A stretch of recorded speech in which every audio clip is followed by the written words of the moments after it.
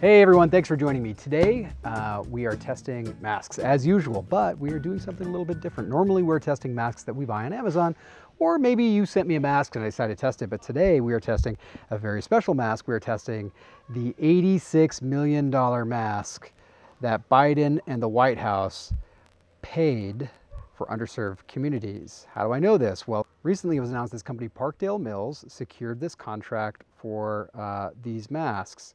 What's crazy to me is that they are hiring like 5,000 people to fulfill this contract. And you have mask manufacturers uh, who are making medical masks in the United States that are being laid off or that are laying people off. Uh, and here we are buying uh, cloth masks, which seems just crazy. So I said, I got to try this mask. Now, if you go to Parkdale Mills website, uh, they recently stopped selling the mask. As soon as they got the contract, they stopped selling the mask, but I was able to find it and I got it here in my hands. So uh, I bought it from this place called Comfort Market, Parkdale Mills, three ply washable face mask. I've got it here in my hands. Uh, it's actually very expensive. It's like $11 for a single mask, uh, or maybe 10 bucks. And then the shipping was like 10 bucks. Jeez. Comes in a, uh, a regular envelope like this.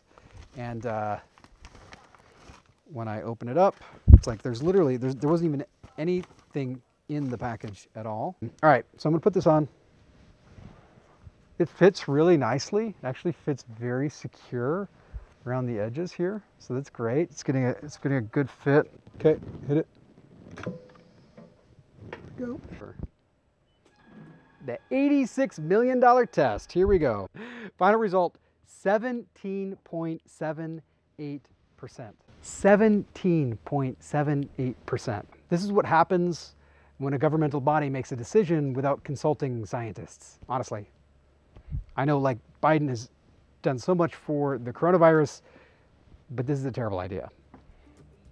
And we just spent $86 million on this as a country. And we're gonna give this to poor people. I mean, there's something in there that just isn't right.